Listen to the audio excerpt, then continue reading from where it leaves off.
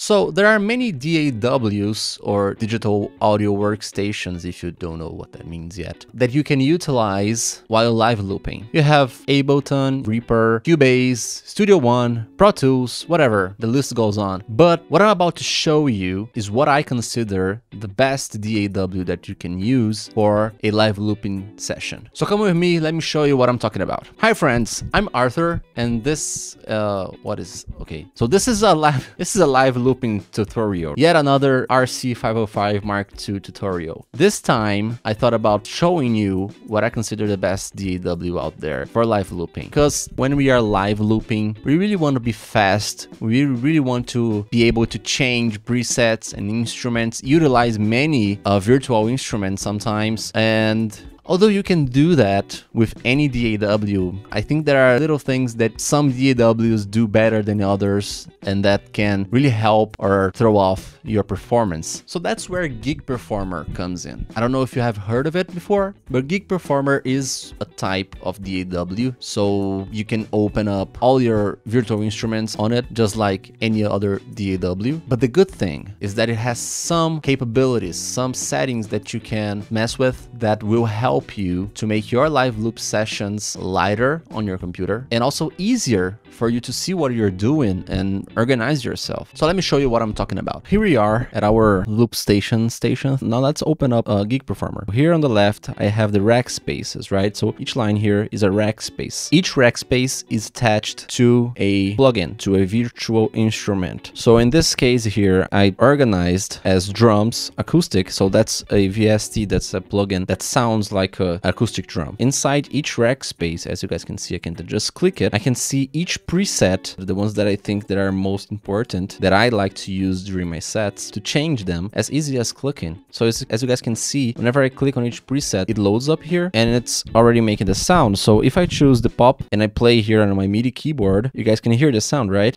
Or maybe not. Yay, there we go. So as you guys can see, if I choose the drums acoustic preset, the preset pop, it's the pop sound. If I change to dry, it's already another sound. Maybe I want to make a layer and I want to perhaps layer some drum sounds. So maybe I can record a dry drum sound like this. Right? It's recorded, it's looping. And maybe I want to really fast, I want to change to an electronic sound over it. So I can choose this big wave preset and maybe put some hi-hats. But that's it. That's, that's it's easy as that. So this is for drums, but I can also maybe I want to add a piano here and just click piano and choose one preset. So while my drum is playing, I can play the piano as well.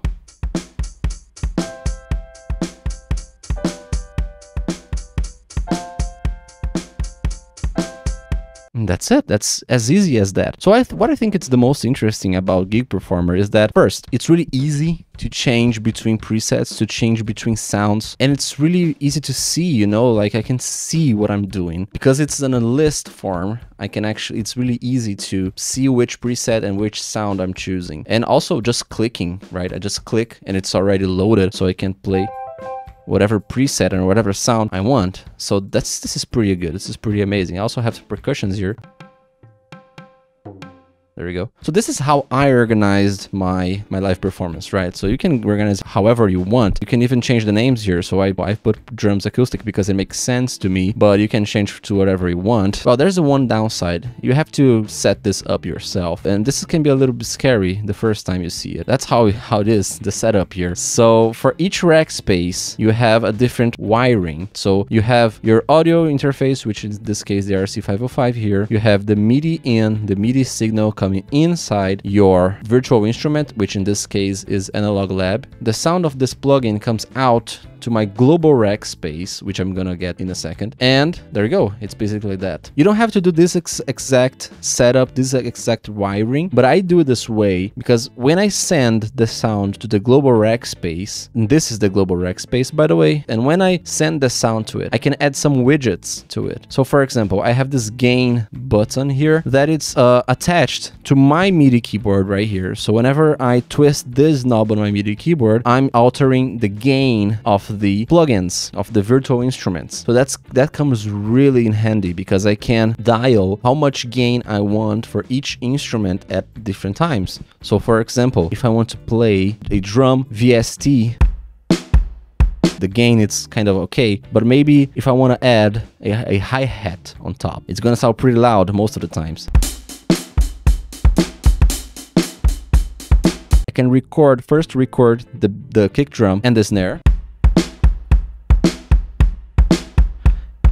then i can turn down the knob and i can record the hi-hats on top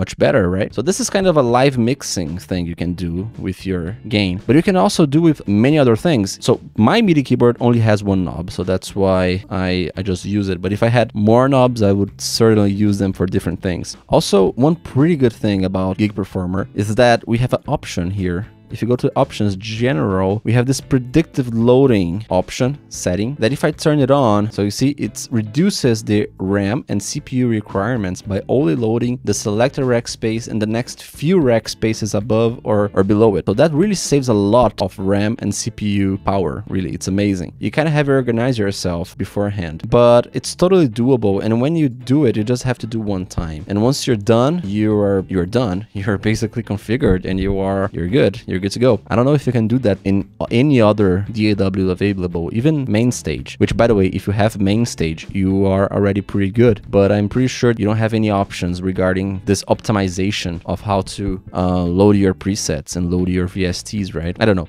I really don't know. I don't, I don't have MainStage, but I wish I had. So that's it. That's Gig Performer. Now, one downside to Gig Performer is that it's unfortunately not a free software. Of course, this times nothing's free, right? So here's the the Gig Performer web page. So uh, a license for Windows, either Windows or Mac, is 169 $169. Or you can purchase for both, for Mac and Windows, which is $200. If you compare this to Ableton, for example, which is a pretty popular DAW, that a lot of people use, it's way better, it's way cheaper. It's like half price of Ableton standard license, right? Obviously, you can buy the cheapest license on Ableton, which I think is $99, but uh, you, you don't get to use more than 16 tracks, if I'm not mistaken. In this case, you have unlimited tracks, unlimited instruments that you can load up, and also customize your experience, right? And also, to me at least, this is the most interesting thing, which is the listing, right? Uh, this vertical way of seeing things that to me makes so much sense. Anyway,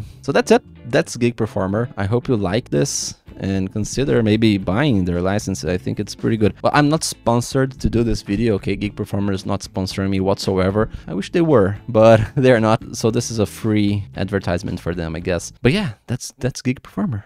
That's it. That was Gig Performer. I hope you have enjoyed this video. If so, please consider subscribing to the channel. I definitely want to do more of these vlog videos, tutorial videos, and looping sessions, looping tutorials, RC505 loop tutorials with DWs and stuff. I don't know what I'm talking about.